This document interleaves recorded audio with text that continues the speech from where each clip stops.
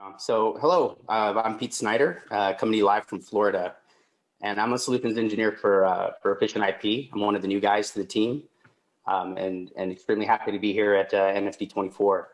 Um, so, I'll be providing you with a brief introduction to our GUI environment and uh, showcasing some key features uh, that I believe sets us apart from the rest.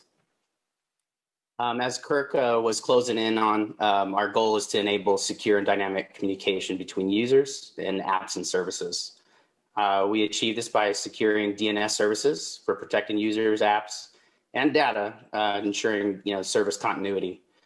Uh, we simplify the lifecycle management of DDI resources uh, with our smart automation, cross-platform visibility, and uh, policy control from a single pane of glass.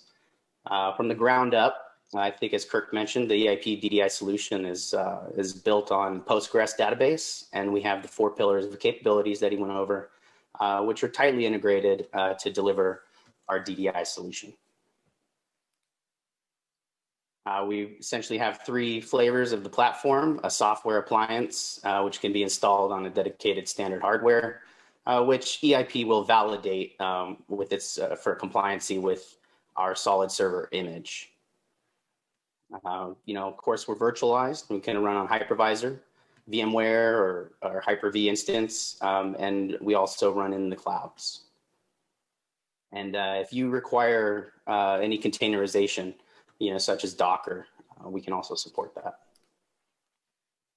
So our family of platforms easily scales uh, with your DDI requirements. Down here, you have your SDS 50, um, you know, clocking in at 500 uh, queries per second, all the way up to the 5570s, which hit 17 million queries per second, as, uh, as Kirk was talking about earlier.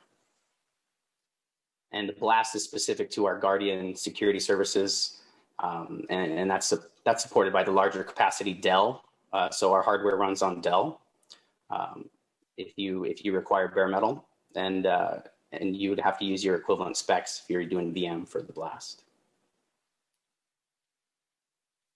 So, contrary to what uh, my boss's boss said earlier, um, if DDI could be sexy, I think this is it. Um, the SOLIDserver appliance suite integrates with uh, seamlessly with heterogeneous IT environments, providing centralized management of your IPAM, IPv4, IPv6, with multi-vendor network infrastructures, cloud orchestration, um, ITSM tools, DNS, DHCP services for global visibility, uh, comprehensive control and advanced automation, and it ensures policy-driven deployments. So, which is going to strengthen your reliability, flexibility, and efficiency um, of your IT critical services or plumbing, as uh, Kirk was alluding to. So here's our global visibility. Um, this slide just is really a teaser. We'll get into the real stuff. So upon logging in to uh, to EfficientIP, um, you'll get brought into the main dashboard. Um, and you see that there's several more, but uh, just to get some terminology out of the way, up here at our top bar, or we call this our top bar, so we'll have our global search. Uh, there's a little toggle here for real estate to increase your real estate or to keep the tree um, persistent so where you can see where you're at if you choose to navigate this way. Otherwise, you can hover. Uh, down here, there's a folder. So if you want to look at hierarchy, you can do it this way or that way. uh, the breadcrumbs is one of our, uh, I would say, bread and butter. Just, you know, it, it differentiates us from the rest. Up here is what we'll call our breadcrumbs. And then below here is our listing page and this is our menu. So this is our menu bar, which has, you know, if you want to add, uh, you have some tools, expert, and it changes for whatever module you're in. So uh, back to the, the sidebar here, we have dashboard. So certain modules come right out of the box without additional licensing. You have your dashboards, of course, uh, the IPAM module, DHCP and DNS. Uh, application so this is our global server load balancing. Guardian, which is our security product. And then NetChange. These three right here require additional licensing. Uh, workflow is basically an internal uh, internal to, to EfficientIP. Um, it's, it's merely a ticketing system. So if there's any engineers that don't have access to do certain functions, uh, they can create a workflow ticket and that will get escalated to those higher level engineers. Uh, device managers. So if we need to manage via SNMP, uh, you know, gain visibility into the network, discovery, that would be that. We understand VLANs, VRFs, and identity manager is the newest uh, feature brought in at, with our 7.3 uh, revision. And this integrates with Active Directory so that it can essentially tie a user to whatever activity is happening uh, within the DDI environment. So from there, we have IPAM and everything is essentially a hierarchy. We have spaces, which is your top level. Then it gets down to networks, uh, your pools, addresses, so on and so forth. And this is really where most of the EIP administrators are going to live. Um, you know, if you look at IP space as your foundation from the ground up, that's how you build it. So resource records are going to are going to rely on that IPAM. So drilling into these areas, so we have uh, the APIC space, AWS, Azure. So we'll just we'll start with APIC. So here's what you can automatically see once you start drilling into your IPAM. Um, if you want to see more, wait, there's more. Uh, we have our listing templates here. So you can select or deselect additional fields. And if you don't want to have to do this every single time, you can create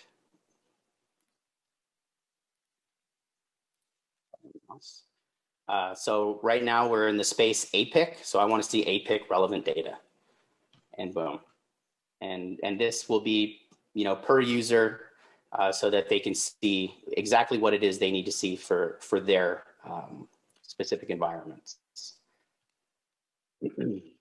so what's also great about this is, you know, going back all to, to the breadcrumbs, let's just start drilling in. So here we're at all addresses and pools for this particular subnet, which maps to the APIC lab. So you can see uh, we don't want to bombard you with too much information at once, so you can expand and, uh, and, and customize it however you need to see it. So let's, uh, let's go into another space here. So you have your space, this, so everything is essentially a hyperlink as well. And it'll take you to, um, you know, to, to those relevant space information. So either the listing page or if you want to see properties of our demo environment, um, you can see the main properties, advanced. And if you take a look here, so here's another quick, uh, you know, just eye candy for the administrator to show, um, you know, what what this feature or how it's set. It's, so this one for IPAM, activate the IPv4. Um, this is uh, set and propagate. And then you can have set and restrict or propagate, restrict. Um, there's, there's different pokies uh, that will give you indications uh, for your advanced properties, which you can customize um, from your top levels. so going back to the space. We can drill in. Let's just start with uh, site one. And I'll just show you a quick workflow um, API test. So here we have some some available IP addresses. All you got to do as an administrator, if you want to add it, click OK. We won't give it a class. We'll keep it simple. So here, so here are additional pokies that I was talking about. So we have our mandatory fields you need to uh, have data for. And then here, if you can set or inherit, you can't. So you can lock it down. Uh, so we always want this. So we're, we're not going to allow the administrator to change their ability to do this. So if we just uh, give it a short, let's see, go diamond hands. I like that. Give it a MAC address. And what's nice about this is you just keep typing MAC address and it gives you the characters, the colons automatically. Uh, we could create a DHCP static. So I want to actually have this registered within our DNS. So I'm going to set this and I can pick our domain. So let's do it on our NAM intranet. Don't need to mess with any of this, but you can. Next, and let's create a, a CNAME for this so everyone, so if there's other services, called GME. Boom, now we got diamond hands in there and it's, uh, it's in use.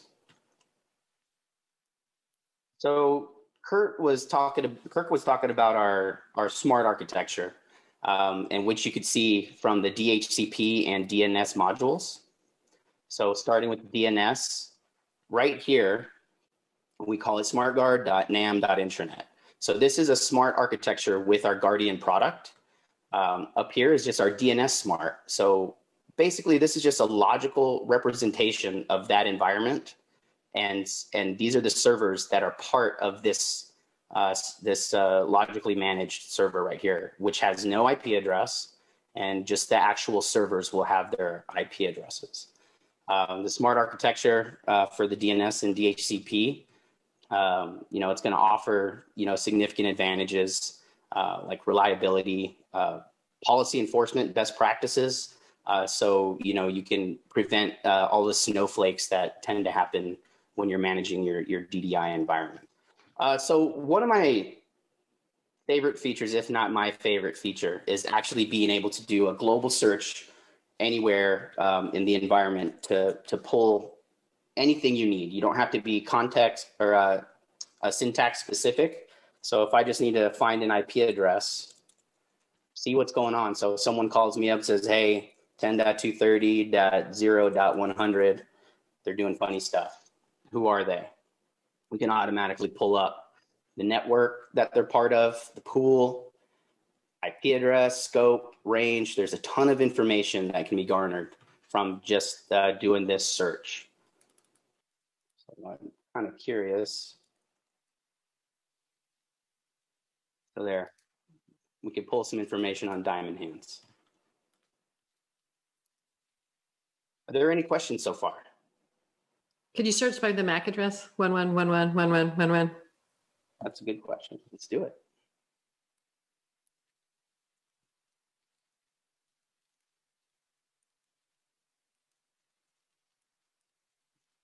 One more. Mm -hmm. Yep. Thanks. Or if you need to get, you know, so we, you know, this is our demo environment. I search for test, we have tons of information on test, everything. So even PTRs, A records, all the DNS registrations. Now, Pete, are, are the search results there? Are those uh, hyperlinks that can get you into the the um, the, the, particular uh, uh, UI to get more information, yes. more detailed information? That's a great question. So here we have, uh, if you want to navigate to the properties of Gym Test, that will take you there. So here it takes you to that information, so our properties page. Uh, if you want to see, um, and then just hitting this as a toggle to expand the data that comes with it. So you go to the properties, and uh, if you need to edit it straight away, you go ahead and go through the wizard to do that. Uh, going back to the dashboard, um, some things I wanted to show you. Um, I didn't really go into the dashboard. So when you log in, this is what you're going to see. It's a this one um, I set, um, you know, for my environment for things that I want to see on my main dashboard. Um, this I love. Who you know, network engineers when you got to do PCAPs um, to prove you know your innocence. Uh, this is an easy way to do it. So automatically, hey, someone calls me up, I log in. Okay, I'm just going to do a PCAP because you know we all know packets don't lie. Um, and then you can see your DNS servers and your smart architecture. And then there's, you know, uh, the system dashboard, IPAM, all of this um, that you can easily navigate to. And then quick searches, if you don't want to use this, this one, then you can uh, search here for address and prefix and then get all sorts of information. So when you're in IPAM, go back to all the spaces. So these are persistent too. So if you if you go to another uh, module section and you need to go back to IPAM, it'll take you back to where you were. Um, let's see, going into AWS. Let's change that. AWS Cloud. Now we can see some more relevant information, right? We got we got our, our regions for the VPCs um, and also VPC ID and uh, availability zones. Yeah, you get a lot more information. And what's, if this isn't enough, you can track it with more metadata. So there's a, I think one of the providers I heard about tracks roughly 300 different data points uh, per, uh, per network IP address. So all you'd have to do is, is drag this in and then customize it for what you need. Um, and, and that will be part of that record. Uh, if you need to do reports, add alerts, um, export. So CSV, HTML, um, you know, you can you can automate these, schedule them, or uh, pull them live. Um, and then here the alerts. So if I want to have this um, added to my uh, my main dashboard, I could go ahead and and add these, and then or you could do. So if you want to add a chart, then you can uh, you know say where you want it to be, and uh, you know what parameters you need to see. So can you can you query all this information via API? Yes, though that was going to be my last point. Um, everything that you can do in the GUI is available via API as well.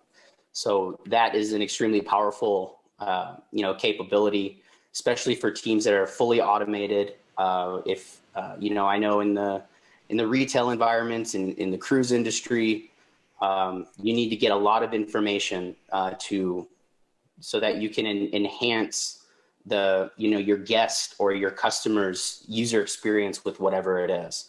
And uh, i think a lot of people lose sight of what you can actually do with the network. And uh, and this this ddi environment is exactly what it is. Now is that is the documentation for the api calls embedded in the, this interface or is it set okay there it is. Cool. right here. Yep. So you just navigate it this way. Um, so if you need to pull really just a php listing but you know if you want to see your dns views um, yeah, you can uh, you can quickly reference this and, and build out your API library for your workflows. Perfect. Thank you. Hey Pete, just just for clarity here, can you, if you go back here, so what we're looking at here is integration with AWS, right? So am I, are, yes. are you saying that the, from an integration perspective, that I can manage all my AWS Route 53 records from your solution, um, and also that applies to Azure, different things? What about Cloudflare? are do you guys integrate with Cloudflare, things like that? I, I would say yes, but I would need to double check that. Um, just okay. simply from the perspective of the API, if it's got an API, we can we can integrate with it. So, uh, but having specific plugins for Cloudflare, I'd have to I'd have to take a look at that. Okay. Yeah, I'm just thinking, you know, there, there there's a couple of use cases I've seen in the past where this integration is pretty powerful, right?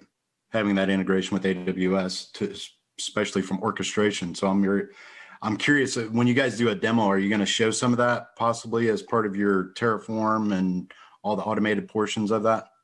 Yeah. So Bob has the real fun stuff, uh, which he'll be coming up after me. I, I, I want to jump in on a few on these while we're showing it. So what he has up here now is the listings pages, right? And and it's how I show the database. And when he add spaces in there, it's how we've partitioned the database. So a space is the highest hierarchy, and I can have completely overlapping subnets in there. I can have complete, they're completely independent of each other, even though they're running on the same database. So where this comes into play is um, companies that do acquisitions and spin-offs, right? They can spin up a space, completely add it in. When it's time to merge it in, um, consolidate the data, and then take it apart and spin it back out when they want to get rid of those resources. Um, the other thing, so these are the properties pages. This is how we sort the databases within the um, um, white blocks up there. I can do sorts and I can do um, multiple statements as far as how I want to show this data. So there we go. And then just hit where it says contains. So greater than, equal to, less than, newer than, all kinds of things like that. So I can sort the data and then use these filters and then from here, create reports. So I can, it's extremely customizable as far as what people want to keep track of. You can create reports that are in, that are important to that specific user. And of course, we take into account the permissions as far as what they're allowed to see, which we'll talk about next. Then the other one, um, let's go to a DNS server and look at a properties page. This is where you do all of the configurations. Okay, so instead of having to dig through 14 different places, and when he did the search, he kind of jumped into where the properties page was. Um, this is where you do all the configurations from one simple, easy location. Okay, so um, you're able to, instead of having to go through hidden menus and all of those kind of things, you can jump right into the wizards. All of the metadata that he was showing can then become part of the um, installation wizards as well too. All of those kind of things. So um, as far as the properties pages go, that's where all the configuration work is done. And as far as the listings pages, that's where we're showing um, the database and how it's laid out and what are the different attributes inside of it, where you do the creations, all of those kind of things. Now, within each of these, right, at any entity that you drill into, whether it's a network or a zone or a server or anything like that, there's the access control, which is about halfway down on the left-hand side. What this is, is it ties it to groups.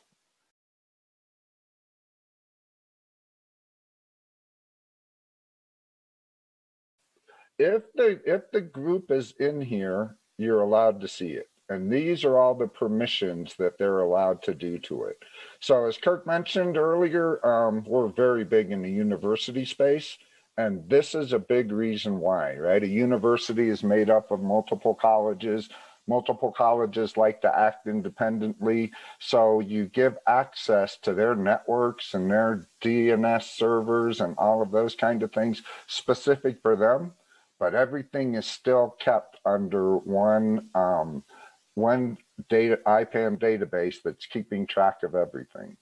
And then the other part on here that's really slick is that um, a little bit farther down, there's an audit log of every person that's come in and made changes and what they've done. It's all kept and tracked inside of these properties pages, along with very detailed logs that are sitting off um, on the side as well too. Yeah, I noticed you were running Bind. Do you guys just run vanilla Bind, or do you guys like optimize it for for your purposes? It, it it's the the bind itself. It's optimized. As far as um, we're running the bind engine primarily. We're also running unbound when it comes to recursion. So if something happens to the bind process, it'll automatically cut over, or you can do that manually. For authoritative servers, we're running NSD as well too. So yeah, um, you can configure, and, and I do have customers that have configured this so that um, if the bind process gets destroyed for some reason, that um, things still stay up and running just fine. And, and, and I'll talk a little bit later about how we make that happen. Okay, cool. Thank you. Everything we've done here, every move, every jump has been an API call to the operating system, right? It's FreeBSD. It's um, it, it's accessible but I um, but it's very secure as far as having um, an internal stateful firewall. So everything that he's done has been a, an API call to the the FreeBSD.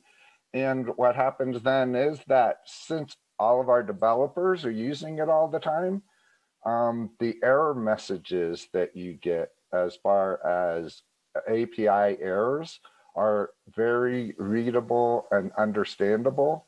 We have a large customer in the Midwest that um, one of their biggest decision criterias was that they didn't want their ServiceNow team to be the DDI team's biggest customer. So when you're able to, to see the error messages, decrypt them, all of those kind of things without having to escalate and send emails, it, it makes it a lot better. Hey, Bob or Bob or Pete. Um, again, if you're going to cover this in your demo, um, do you guys support tagging or any sort of like parameterized thing that I could use from a like a programmatic perspective where I'm passing parameters to the API where I can determine, hey, I need to go to this DNS server, this subnet, et cetera, et cetera, and do this registration. I see Bob smiling, so it must be a yes, or he's Yeah. going to cover it. Yes, no, um, it, and, and it's handled here in the metadata, right? Um, Okay. We, we still don't, we're, we're not using the term tags. I know some of the other Okay. guys do. Um, but any, you can do API calls ba- even based on what's in the metadata. And then as far as in the administration portion, you can build a customized database inside of this specifically for what applications that you want to run. The one that jumps to mind the most is our ClearPass integration. And again, I think it comes a lot from the university space where we make API or we make calls to um, ClearPass. ClearPass gives us the blessing to allow that MAC address into the network. And, and on those, you can pass whatever kind of parameters between the two that you want to pass.